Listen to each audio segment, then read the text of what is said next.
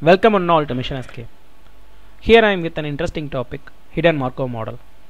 A Markov model is a system that produces a Markov chain and hidden Markov model is nothing but the transition states are hidden. These both HMM and Markov model depends on two rules. The first rule says that there will be a certain observation and the second rule says that there will be certain state transition given that the state of the model at a certain time. HMMER is an interesting application of hidden Markov model for biosequence analysis and in HMMER we can use that for such sequence databases for homologs of protein sequences and also for making protein sequence alignments. It implements the methods using probabilistic model called profile hidden Markov model or simply called profile HMMs. Give a profile and search against a database you want to use other packages in HMMER such as HMM build to build a profile of HMM from an input multiple alignment HMM search in which you can search the profile HMM against a sequence database.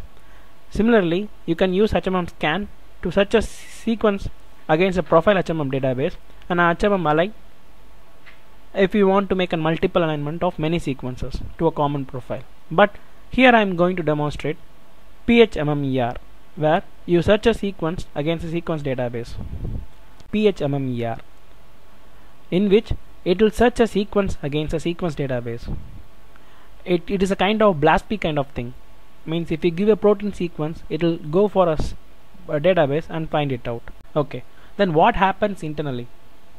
Internally, HMMER builds a profile, profile HMM from your sequence itself. Means you, you are giving a single query sequence, right?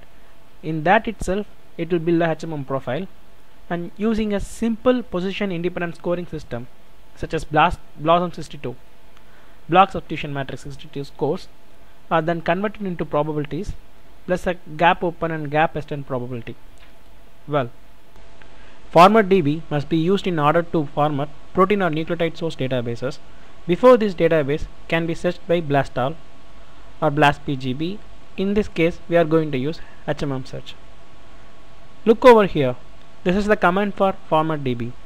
So, hyphen i indicates the input file. Our input file is that FASTA sequence. Then hyphen p indicates uh, hyphen p indicates the type of file.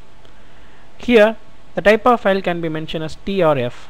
T refers to protein whereas the f refers to nucleotide.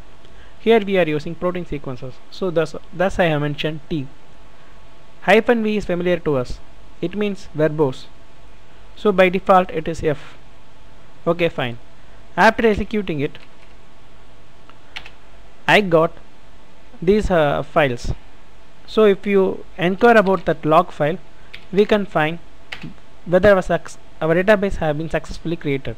Yeah it have been created. It have been formatted successfully. Good. The comment is phmmer and that query.fasta and that database.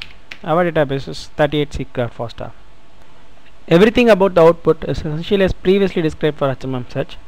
The first section in the header that tells you that what program you ran. Uh, see look over here.